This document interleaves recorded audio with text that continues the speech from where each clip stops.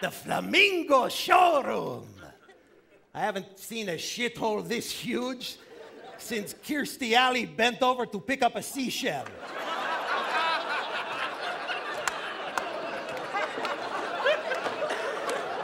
Flamingo!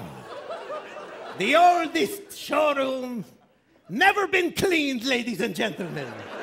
Now, I've got a wonderful dressing room. I want to thank the management, very considerate. I want to thank the management for taking the time to clean the vomit off the piece.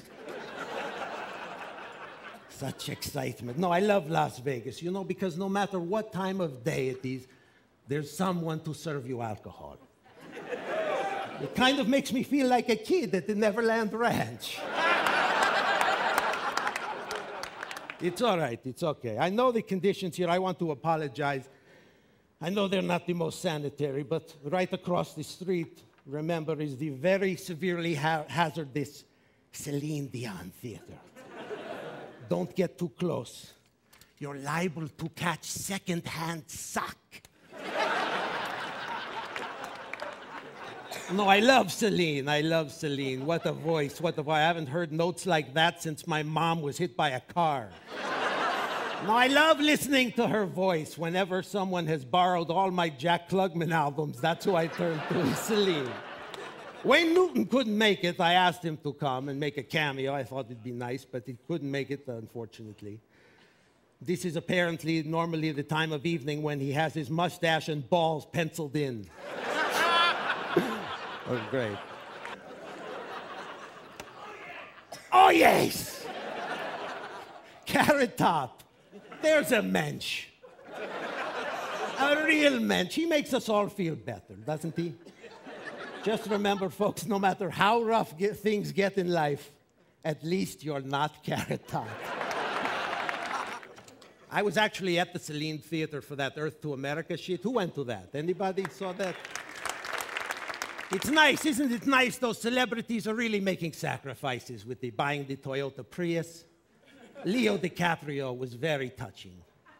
He told the audience, I want everyone to know that the private jet that's waiting for me on the roof of this building to whisk me away is not idling.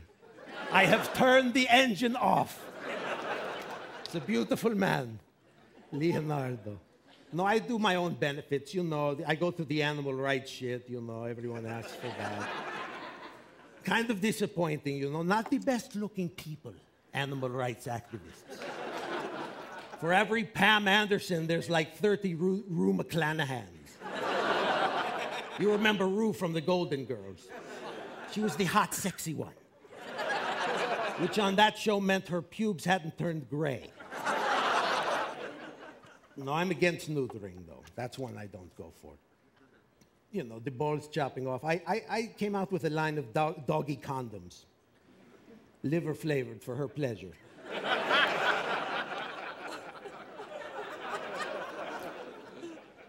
lovely here in Vegas. So many lovely, fat, sweaty gamblers, really. really. No, we're in the desert. You sweat. You know, it's kind of like the Iraq. It's kind of like being in Iraq here in the war. Americans spending money they don't have, refusing to admit they're losing.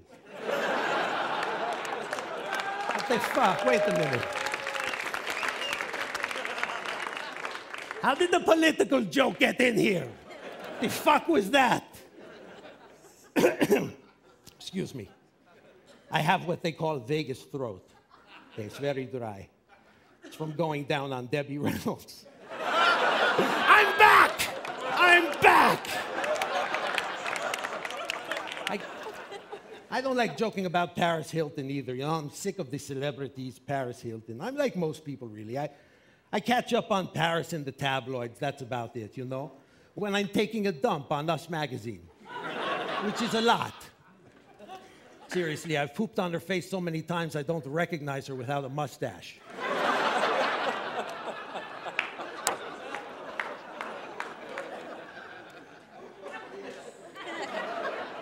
Thank you very much. By the way, I want to clear it up in case anyone, you know, I am a real dog, not a puppet. Seriously, no self respecting middle aged man would crouch under a podium. and manipulate a puppet, right? Well, except for Dick Cheney. what? What? Who wrote this shit?